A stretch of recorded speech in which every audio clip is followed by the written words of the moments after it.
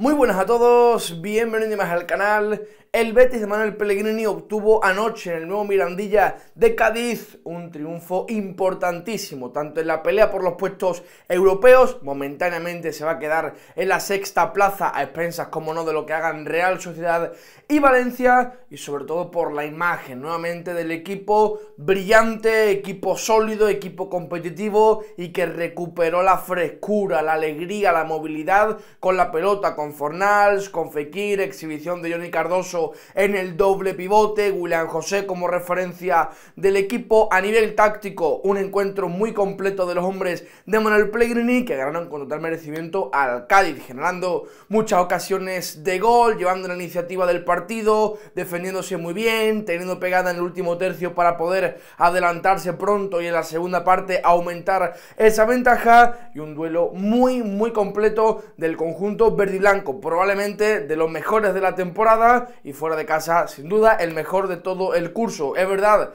que contra un Cádiz ciertamente mermado, pero también con Mauricio Pellegrino venía de competir realmente bien contra Villarreal y Athletic Club. Por tanto, vamos a analizar esa meritoria e importantísima victoria del Betis antes de la Conference League en el nuevo Mirandilla. ¡Comenzamos! Iniciando con los dos 11 partía el Cádiz con Conan Ledesma bajo palos, Izafali Chust y Lucas Pires en la defensa, Alcaraz con Escalante en doble pivote, Alejo, Robert Navarro por fuera y en la doble referencia Cris Ramos acompañado de Rubén Sobrino. Por su parte el Betis, Ruiz Silva en la portería, Bellerín, Pechela, Sócrates y Miranda en la retaguardia, Marc Roca con Johnny Cardoso, más que nunca merecida por fin la fichita en el centro del campo, Fekir enganchando, Fornals también con carita incluida en la banda derecha, Abde en la izquierda y William José arriba. Entrando a analizar el partido, en la previa comentamos que el choque era un desafío muy importante para el Betis a la hora de la fase ofensiva de tener movilidad por delante de la pelota, de ser dinámico, de tener mucho movimiento con balón, de estar fino, de estar preciso en las combinaciones, estar bien coordinado en las paredes para que el equipo pudiera salir. El Cádiz, ya sabéis, equipo comprometido, competitivo, que mete bien en la pierna sobre el papel, luego en el partido lo comentaremos, se fue haciendo con el paso de los minutos y el Betis ese desafío de por fin hacer un buen partido a nivel ofensivo, con la pelota, llevando la iniciativa y siendo propositivo, ese desafío no sacó un 9 o un 10, sino directamente considero que fue matrícula de honor. La primera media hora del Betis fue absolutamente arrolladora, sobre todo con la presencia de Johnny Cardoso, de Marc Roca, de Nabil Fekir y de Pablo Fornals por dentro, cada uno en un rol diferente, pero dándole salida al Betis desde atrás. El Cádiz, ya sabéis, 4-4-2, doble pivote Alcaraz Escalante en inferioridad y además contra jugadores técnicamente privilegiados, como puede ser Fornals, como puede ser Fekir, y nos tenemos que fijar también, como no, en Johnny Cardoso. Todo coherencia, todo sentido, la pareja de centrales también leyendo muy bien todo tipo de situaciones y Cardoso recibiendo aquí en muchas ocasiones libres y no entendiendo cuándo estaba Marc Roca en uno de los costados. Pablo Fornals, muy inteligente, lo comentábamos posicionalmente, la colocación es un tipo que lee muy bien el fútbol, sabe cuándo tiene que romper al espacio porque además es veloz para estirar al equipo, sabe cuándo tiene que venir aquí al costado a recibir de Héctor Bellerín, sabe cuándo tiene que venirse, que no se despegue el amigo Pablo Fornals por dentro para generar superioridad y ahí el Betis una vez tras otra, tras otra encontrando el hombre libre y el Cádiz completamente deshecho. También Nabil Fekir viniendo a apoyar, viniendo a recibir, girándose, conduciendo y ya dándole salida al equipo. Y también esto es muy importante, tanto William José y Abde fijando defensas. Abde concretamente con Iza. Para mí un buen partido de Abde, aunque le falta ese puntito de veneno de colmillo en el último tercio. Pero bien, viniendo a recibir, dándole continuidad a la circulación. Y William José, que para mí le dio un repaso a la pareja de centrales. Descargando, es muy importante la función del delantero aquí. Primero, fijar los centrales. Y segundo, cada balón que le llega por uno de los dos costados ir a recibirlo y sobre todo dar de cara tanto a Fornals como a Marc Roca como a Johnny Cardoso porque un balón aquí de cara supone que Abde desde aquí a aquí va a recibir casi siempre en ventaja o en situación de uno contra uno. Así que En líneas generales, todo el equipo muy fino, Pablo Fornals, su movilidad providencial para que el equipo pudiese tener superioridad por dentro, Fekir acciones de mucha calidad, Johnny Cardoso todo con sentido, con criterio de un costado hacia otro y mucha velocidad de la circulación, mucho dinamismo, mucho movimiento por delante y el Betis pues fue salir de presión, salir de presión, una y otra y otra y así comenzaron a llegar las ocasiones. Se empieza a poner por delante con un auténtico golazo de William José y recuperación del MVP sin lugar dudas Johnny Cardoso y con el paso de los minutos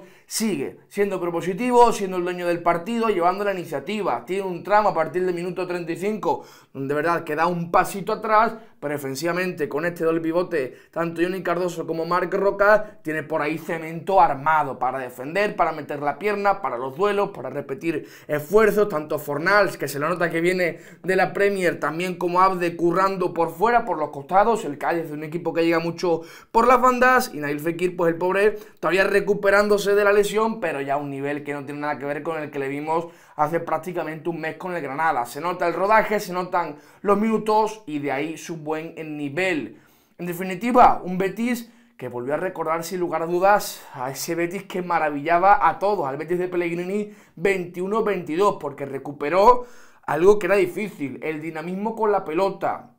un toque, toque, balón en largo al otro costado, fútbol bonito, fútbol dinámico, fútbol ágil, directo, vertical. Y sobre todo que a fin de cuentas le acaba sirviendo para generar muchas ocasiones de gol. Y recordando un poco a la combinación Fekir que sigue en el equipo, Canales en forma de Pablo Fornals, no los vamos a comparar, pero ese perfil de jugador de marcar los tiempos a veces, romper al espacio en otras, que además también trae ese puntito de gol y tiene ese rol, aunque él es diestro. Y Pellegrini optó por utilizarlo a pie natural y Abde no tiene mucho que ver con Juanmi, pero sí siendo esa pieza que aguanta aquí bien abierto para recibir uno contra uno y ya pues ser más vertical, buscar eh, ser vertiginoso, buscar el desborde y aportar la jugada definitiva o la acción definitiva a todas las jugadas que elabora el equipo. Miranda también muy bien dándole salida, Bellerín probablemente un poquito el eslabón débil en comparación con la buena actuación del equipo y una segunda parte también mucho más conservadora. El Betis, aparte de lo que hemos comentado de nivel táctico,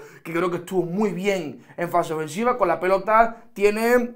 no lo podríamos llamar fortuna, sino que tiene la pegada de los momentos cumbres, tiene la puntualidad que en el fútbol es vital. Para comenzar el partido poniéndose por delante, mazazo al yugular a un Cádiz también muy pobre. Y en la segunda parte, nada más comenzar, los últimos 10 minutos de la primera parte son para el Cádiz, pero nada más comenzar la segunda, Pablo Fornals, una maravilla suprema desde el costado diestro, se va de Lucas Pírez con un regate tremendo y con la zurda al palo largo imparable para Conan Ledesma. Ahí creo que marca también la diferencia el Betis con un caos técnico al Cádiz. Además, jugando en casa, la presión, y sabemos que al Cádiz es un equipo que le cuesta crear, proponer. Y esto es, en la segunda parte, lo que aprovecha sin duda Pellegrini, para cerrar filas y para defender. También entra más tarde el Chimi Ávila, entra Rodríguez para darle un poquito más de control, pero el plan de la segunda parte, sobre todo desde el minuto 65-60 aproximadamente, es cerrar al equipo, ya lo sabéis, en 4-4-2, Fornals y Abde por los costados, luego